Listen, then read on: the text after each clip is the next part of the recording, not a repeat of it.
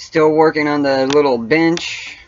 Need a little bit more work done to it, but so far so good.